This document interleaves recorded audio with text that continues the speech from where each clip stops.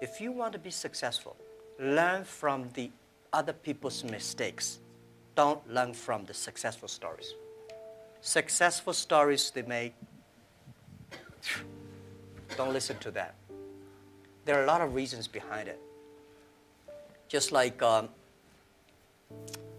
I remember the first time Harvard Business School came to us, say, Jack, we want to write a case study for you.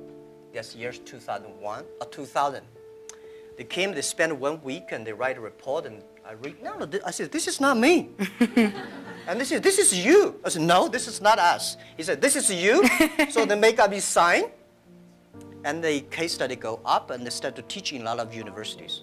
The next five years, they invited me to go to the case study and they always find a competitor of my company.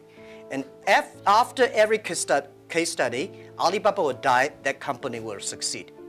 All the students agree. And actually, every five years, all the competitors die, we still survive. so how can you study this kind of a successful story? Learn from the mistakes, the other people. No matter how smart you are, you will encounter these mistakes.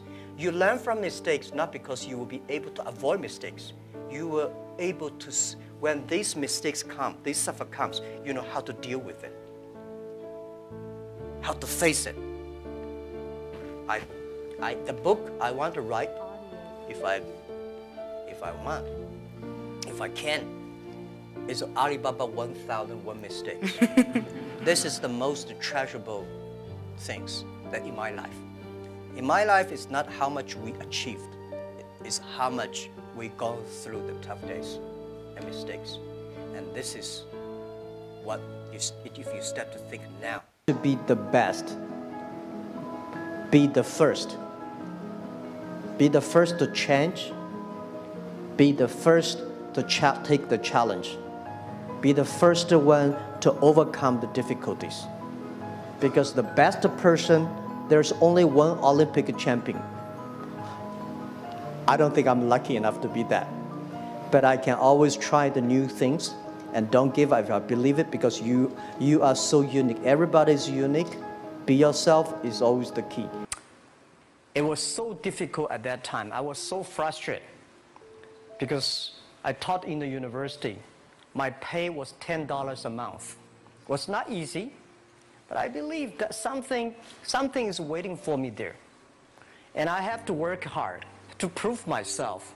So that was the tough experience. It's not amazing. If you don't do it, nothing is possible. If you try to do it, at least you have the hope. You are young. Don't complain. Let the other people complain. Those people complain, those people who fail. They call me Crazy Jack. And I, I think crazy is good. We are crazy, right. but we're not stupid. this world today is full of challenges and opportunities. 2,000 years ago, full of challenges and opportunities. And I'm sure 2,000 years later, full of challenges and opportunities.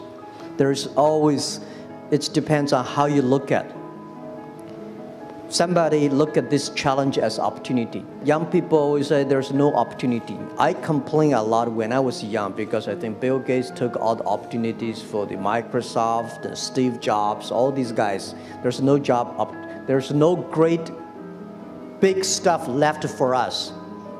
But I think opportunity always lies in the challenges, always lies in the complaints. If you can solve the challenge, you have the you, you will be successful. The big challenge you solve, the big problem, uh, the the big opportunity you have. Who's your most dangerous competitor? Is it Amazon or is it Tencent? Well, people always think compare us with Amazon. Amazon is a great company. I respect. I've been seeing them uh, from a tiny to that big, and I think they will continue to grow. But we are different. We, the Amazon is an e-commerce company we are not e-commerce company. We enable other people to do e-commerce. We want to making sure everybody can be Amazon. Don't hate your competitors. Respect your competitors, learn from him, but you know, Pony and I, we've been doing the charity together, the Nature Conservancy, and protect the, the but we compete each other.